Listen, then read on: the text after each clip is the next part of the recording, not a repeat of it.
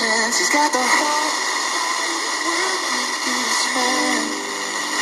That's Evan Craft, Danny Gokey, and too. taking over at number 15. Be all right, right here on the